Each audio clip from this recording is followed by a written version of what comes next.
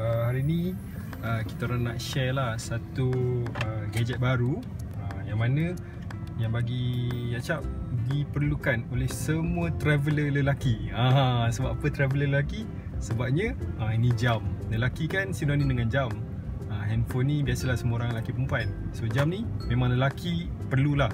Sebabnya dia ada feature yang sangat cool yang mana tak ada pada kebanyakan jam uh, Walaupun jam tu mahal kan, uh, dia tak ada feature yang macam ni. Okay. So mari kita tengok. Uh, Okay, sebelum tu Perkenalkan dulu barang dia apa. Barang dia uh, jam Edifice. Uh, Itu sebutan yang betul sebab dah tengok banyak kali dalam YouTube. And dibuat oleh Casio. So, brand Casio tau Ramai budak-budak sekarang kan ramai pakai jam Casio. Okay, so sekarang ni tengok eh kat dalam dia ada apa.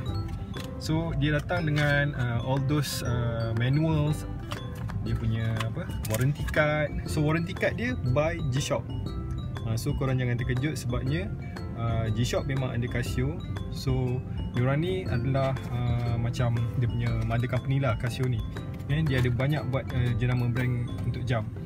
Okay. So nak bagi tahu lagi untuk jam ni kan uh, Jam ni dia punya specialnya Kalau di Lembah Kerang area KL ni uh, apa yang kami diberitahu hanya ada tiga je. Tiga biji je uh, Diorang tak bawa masuk banyak lah benda ni. Sebab dia yang ni adalah yang uh, antara model yang terbaru. Dia EB, uh, EQB 900 so ini yang terbaru. Sebabnya dia ada banyak macam-macam feature. Okay, so jom kita tengok apa feature dia eh. Okay, so uh, ini box dia. So dia datang uh, dengan ada pillow dia tu kan. Uh, so Okay, kita letak tepi ni. Okay. So Ini adalah jam dia. Uh, Dia fully metal lah Steel. Uh, Depan belakang dia. Uh, So uh, Yang tanda ni adalah tanda original. Uh, Kalau korang tengok eh Dia ada stiker tu kan Stiker original. And bila dia pakai ni kan Acap pun tak buang-buang lagi ni. Tak tahu boleh buang ke tak. Okay So uh, Dia jenis yang tutup macam ni. Uh, And then boleh buka Ha, cantik sangat. Memang sesuai lah untuk lelaki-lelaki. Ha, Untuk kawan-kawan lelaki semua memang sesuai macam ni. So, okay, korang boleh nampak eh Dekat muka dia, jom kita tengok dia punya function. Okay, so Function dia, uh, jam ni uh, Kalau tak salah dia adalah 44 mm, uh, mm kot rasanya Dia punya size dia. Okay, so yang dekat sini korang boleh nampak. Dia punya feature dia, dia ada tarikh Nampak eh, tarikh kat situ. Lepas tu dia ada yang bulat atas ni adalah hari Nampak eh? Sunday, Monday, Tuesday, Wednesday. Ha, Kat situ. Lepas tu dia ada sini. Yang tepi ni adalah ha, Ini dia punya mode. Uh, Sorry bukan mode. Dia function lah. Nak tunjukkan Macam E dengan F ni actually Untuk bateri. Ha, Battery indicator. Jam ni pakai bateri tau. Cumanya Bateri dia tak perlu ditukar uh, Dalam 5 tahun tu tak payah tukar. Sebabnya apa? Sebabnya bateri dia Di-charge oleh cahaya Ha, dia ada tough solar teknologi yang mana kalau kita punya bateri macam dah kurang kan kita pergi je letak dekat matahari macam ni lah kita letak dekat luar bagi dia kena cahaya matahari ataupun dekat lampu kan? So nanti dia akan recharge bateri tu. Ha, so tak payah tukar. Bateri dia memang dia senang lah dia senang. And then main sini dekat dekat dekat dekat. Nak tunjuk. Okay. So macam ni korang nak tahu level bateri ada banyak mana? Korang tengok eh? Empty dengan fuel, uh, dengan full E dengan F. So bateri dia sekarang ni kita tekan lama Okay. Eh sorry. Alah salah pula. Okay tak apa tak apa tak apa. Tersilap lah. Nak tunjuk bateri bukan kat situ. Ha, Tak apa tak apa tak apa. Bagi dia pusing dulu. Ha, Ni dah melepasi zaman. Okay. Ha, Ni bateri dia. Tekan yang ni. Eh, Yang bawah ni. Nampak tak? Dia bateri tu full Dekat F. Kalau bateri dah lemah Dia akan pergi kat E. Ha, okay. So apa lagi yang seronoknya kat dalam ni kan? Ha, Yang bawah ni. Okay. Tadi kita dah cakap pasal uh, apa Yang bulat atas ni uh, Semi circle yang tepi And then bawah ni. Ha, Bawah ni pula adalah World time GMT So yang mana Benda bawah ni Kita boleh set lah untuk world time. Ha, And then Kalau korang tengok dekat tepi ni ha, Boleh nampak? Boleh kan? Lambang tu. So lambang tu adalah lambang bluetooth.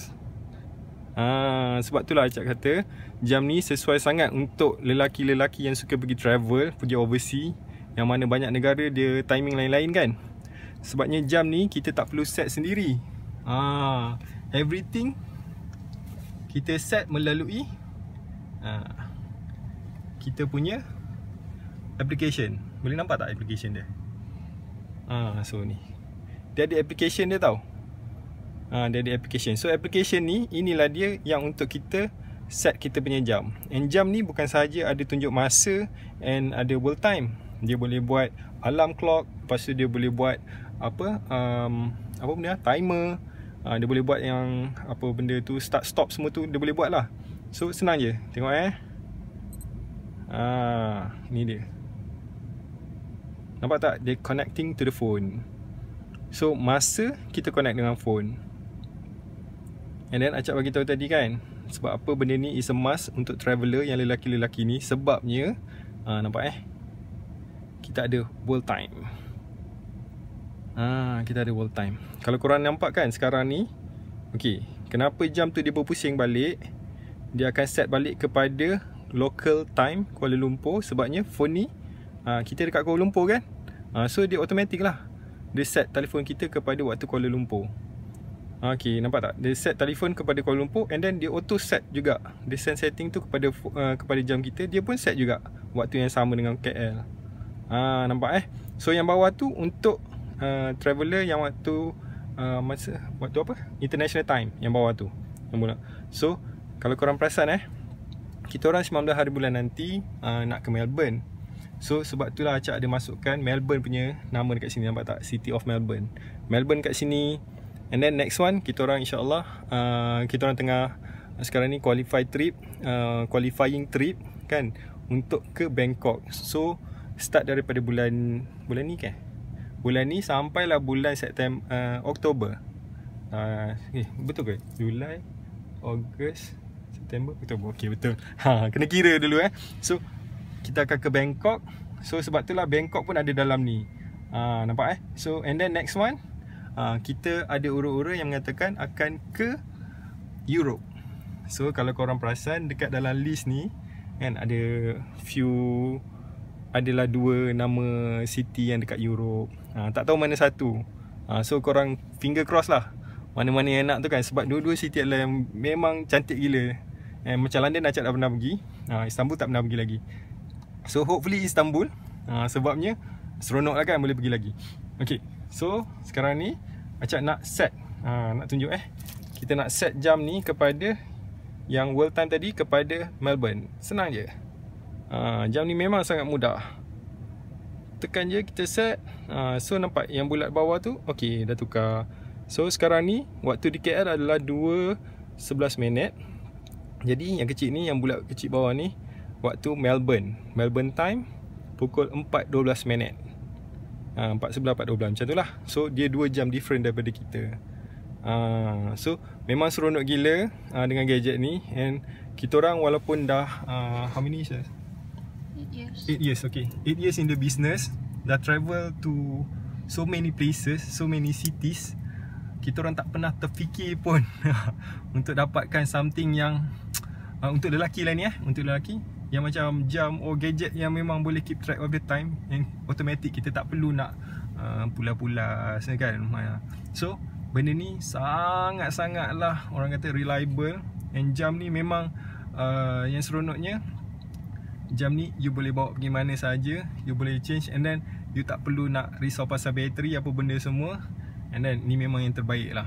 Uh, memang terbaik. Jam ni paling terbaik untuk pergi travel. Okay, so untuk kaki-kaki travel tu semua uh, Korang macam ni lah, kena cari jam yang macam ni. Uh, It's affordable, tak mahal sangat And tak adalah murah sangat. Uh, Memang sesuai dengan dia punya function. Okay, so bye